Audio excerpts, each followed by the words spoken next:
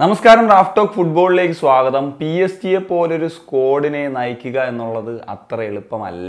Thomas Tushil എന്ന പരിശീലകനെ പറ്റി പറയുന്നത് ഇപ്പം ഒലിവർ ഖാൻ എന്ന ബയൺ മ്യൂണിക്കിന്റെ സിഇഒ ആണ്. നമുക്കറിയാം ജർമ്മൻ ലെജൻഡ് കൂടിയാണ് അദ്ദേഹം. ഇപ്പോൾ ബയൺ മ്യൂണിക്ക് അവരുടെ പരിശീലകനായിട്ടുള്ള നഗിൽസ്മാനെ പുറത്താക്കി. പകരം മണിക്കൂറുകൾക്കകമാണ് തുഷൽ എന്ന പുതിയ പരിശീലകനെ അപ്പോയിന്റ് ചെയ്യുന്നത്. അപ്പം ഈ ഒരു സാഹചര്യത്തിലാണ് ഈ ഒരു പത്രസമ്മേളനത്തിന്റെ സമയത്താണ് ഇപ്പം അദ്ദേഹം ഈ ഒരു കാര്യം തുഷേലിനെ പറ്റി കൃത്യമായി വ്യക്തമാക്കുന്നത്. നമുക്ക് ഒലിവക്കാന്റെ തന്നെ വാക്കുകളൊന്ന് പരിശോധിക്കുമ്പോൾ നിങ്ങൾ അദ്ദേഹത്തിന്റെ ഗുണങ്ങളെക്കുറിച്ച് ചർച്ച ചെയ്യേണ്ടതില്ല. അവ ശ്രദ്ധേയമാണ്. അദ്ദേഹത്തിന്റെ കരിയർ അതിന് സാക്ഷ്യം കൂടിയാണ്. പി എസ് സി പോലൊരു ടീമിനെ നയിക്കുക എന്നുള്ളത് അത്ര എളുപ്പമല്ല. ചാമ്പ്യൻസ് ലീഗ് ഫൈനലിലേക്ക് അവരെ അദ്ദേഹം നയിച്ചു. ചെൽസിയിലും ആദ്യം ദിവസം മുതൽ അദ്ദേഹം വളരെ വിജയകരമായി പ്രവർത്തിച്ചു. അത് ശ്രദ്ധേയമായിട്ടുള്ള ഒരു സി വി ആണ്.